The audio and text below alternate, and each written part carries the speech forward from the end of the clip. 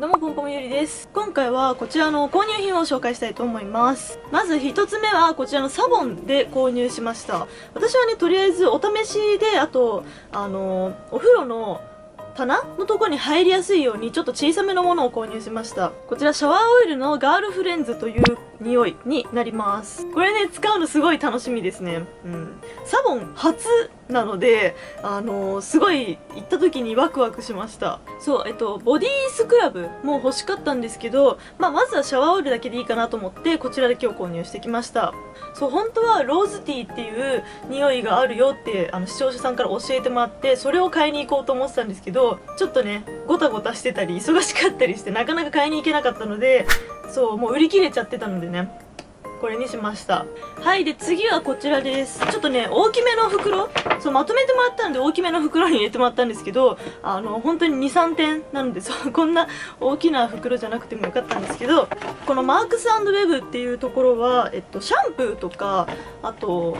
うんとボディケアグッズとかが結構置いてあって、えっと、私池袋のところに行ったんですけどで私この間えっと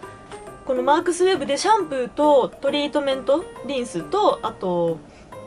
メイク落としを購入したんですけどそれがね結構あの良くてあのシャンプーがすごい気に入ったのででシャンプーはねちょっとお試し用で小さめのやつを購入してすぐなくなってしまったので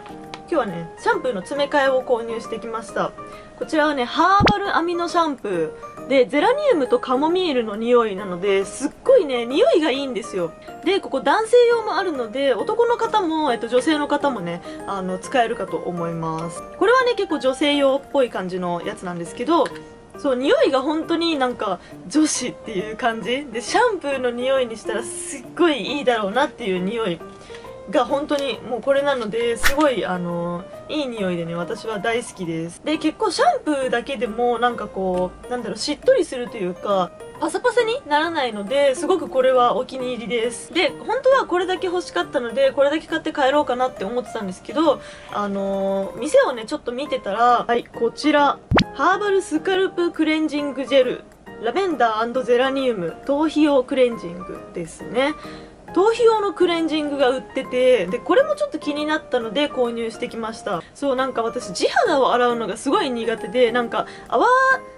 をモコモコにしないと地肌って洗えないじゃないですか。で泡をモコモコにするのも結構なんか一苦労な感じが してたのでなので私はもうこれを購入しちゃおうと思って頭皮クレンジングを購入しました。これはですね余分な油分や古い角質を浮き上がらせて取り除いて地肌をすっきりと清潔に健やかに保ちますということでね。やっぱこういう地肌をしっかり洗えるものを使うと髪の毛が伸びるのも早くなると私は思ってるのでうん。